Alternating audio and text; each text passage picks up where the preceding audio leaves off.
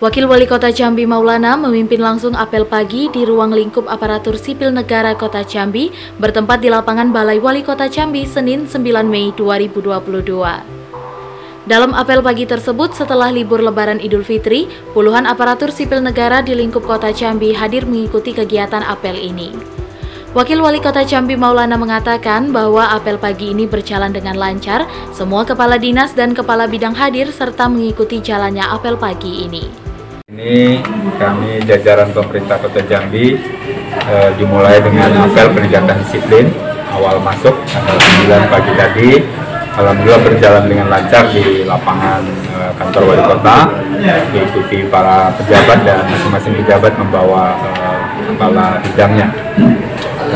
Dan dilanjutkan dengan eh, inspeksi terhadap kehadiran seluruh pegawai melalui aplikasi online dan nanti akan saya lanjutkan offline beberapa titik sampling saja. Dari 2048 pegawai yang sudah tergabung absennya online, jadi di luar guru ya, karena guru di sekolah-sekolah belum. Setelah melaksanakan apel, para organisasi perangkat daerah di lingkup kota Jambi melanjutkan dengan halal bihalal dan bersalam-salaman dan saling bermaafan. Sandi, Cek TV, melaporkan.